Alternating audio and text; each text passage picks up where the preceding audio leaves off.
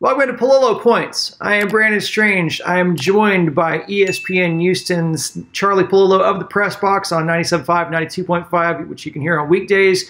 Uh, before we get into our Texas conversation, Charlie, I just want to remind the viewers that if you have not subscribed to the channel, please do. Uh, Charlie, Arian Foster was on the uh, Gems and Juice podcast this weekend.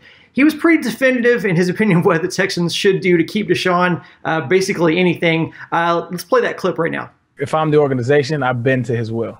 There's no way you don't. Like he's he's he's a generational quarterback. You've never had a quarterback like him. You're not gonna have a quarterback like him in the next who knows how many decades.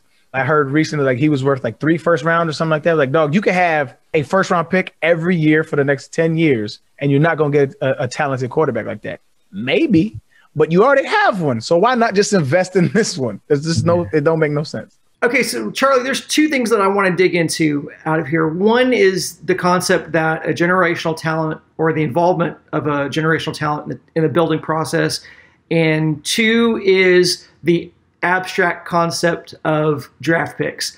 Um, so first, I want to say, you know, from our feedback that we get on our channel, we get a lot of comments about how Deshaun should just shut up. He's just a player.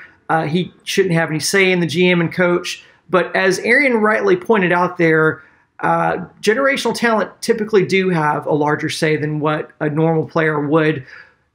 Charlie, in your opinion, to what degree should Deshaun Watson's talent and his value to the organization dictate the amount of say he has in these uh, decisions? Yeah, uh, multifaceted to me the biggest Texans organizational problem is the organization's lack of credibility right now, with Deshaun first and foremost, but really with a large percentage of the fan base. So, what would ordinarily be thought of as a reasonable position you're a player, you're a great player, you are not management. You are not qualified to select our general manager coaching input, people you'll work with on an everyday basis, a little bit different there. But in the end, there is a line to be drawn between labor and management. You can cite Peyton Manning with the Colts. Tom Brady chafed for years over the Patriots not supplying him with enough weaponry at wide receiver or other things that he wasn't peachy keen about. It worked pretty well there. Well, the Texans now have, now have no foundation of credibility, all those cute little AFC South Division championship banners aside that, well, we can trust in Belichick. The big picture, he'll get it right. Organizationally, Bob Kraft, he's always sailing the ship in a steady and solid direction. Uh, Texans basically have none of that. Right now, they're the SS Titanic as opposed to the good ship Lollipop. Um, as a franchise quarterback, rank has its privileges. It does come with some leverage, but that you should just bend at his will well, what if he gets a wild hair a year and a half now? Now I want this. Now I want this. Now you need to give me this guy. Now you need to give me that guy. I'm not going to be happy again, and I might consider demanding to be traded then. Uh, there are lines that new, do need to be drawn. Uh, of course, with the Texans and Deshaun Watson, is this one line thick enough that there will be no line drawing, drawing between the two parties after this? But I think it's simplistic and also a player perspective. Just bend to the quarterback's will, do whatever he's want. Deshaun Watson's already a tremendous player and has seemingly limitless potential. He's not Tom Brady. He's not Peyton Manning in terms of revenue, uh, in terms of resume of accomplishment or organizational clout that he should have. But the dynamics of the Texan situation have swung the pendulum some more in Deshaun's direction. The second thing I want to talk to you about is the value of draft picks. And it's such an abstract concept because we, we talk about this in, in a vacuum. Uh, a, a, player is worth this many draft picks or this many first round draft picks or this many first in a couple of seconds or, or, or whatever we say there.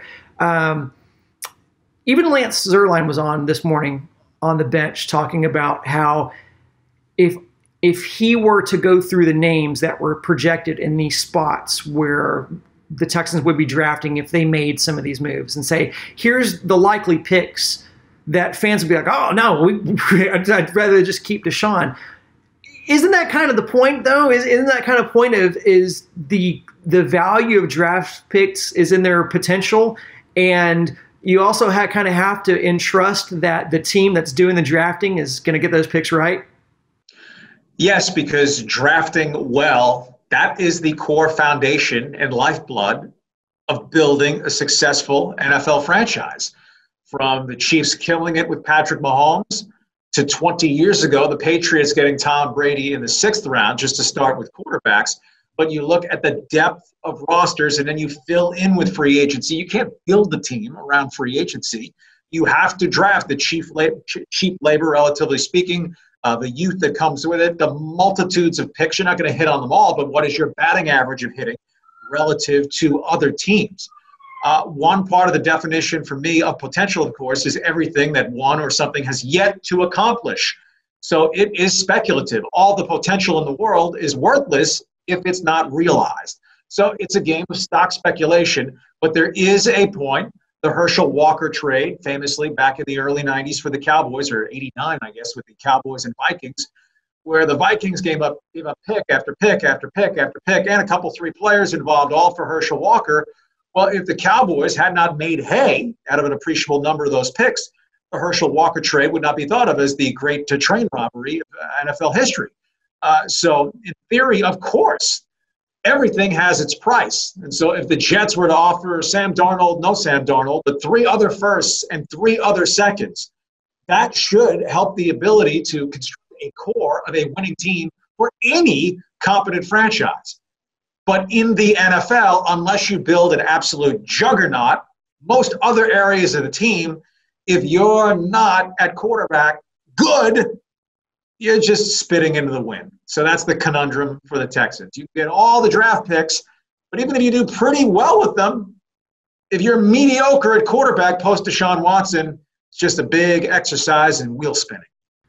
Charlie, one of the interesting things about the dynamics of this whole Deshaun drama that's going on right now is we really haven't heard much from Deshaun himself. And so a lot of the narrative that's going on in the media right now is kind of perpetuated by the media. It's things that we're we're seeing sources report or cryptic tweets from Deshaun how much do you think you know Deshaun could buy himself as far as cachet here by being a little bit more definitive or descriptive with the things that he wants, or do you think that might not that would hurt him and maybe put the team in a bad situation if he became more vocal? Yeah, I really don't know if it would help or hurt. How much of this is generational or millennial that you live your life by a tweet? Uh, I'm not a fan of the coy little tweeting by Deshaun Watson. At some point, either hold your cards to your vest and then you can air it all out when it plays out, or be a little more forthcoming now. Uh, that parts of Team Deshaun probably have fun. Knowledge is power, so they can feed a little morsel to this member of the national media, or feed a little morsel to that member of the national media and control the flow of conversation. Uh, but the fact that until the Texans hire a head coach and Deshaun declares, whether internally, organizationally, or to all of us, doesn't matter. I still want out. Or well, that's that's the olive branch I've been waiting for. Let's mend fences, and if not, let bygones be bygones. Let's try to move forward productively. We're stuck in neutral in terms of where the story actually is. So we just get this he said, he said. Sources say this is possible. Well, isn't sources saying this is possible tantamount to saying sources are saying this is not possible also? Um, so I just think it's Fisher cut bait.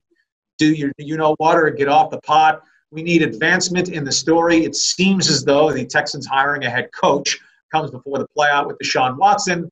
Then I guess it's Deshaun's move that he formally tells the organization, get me out of here.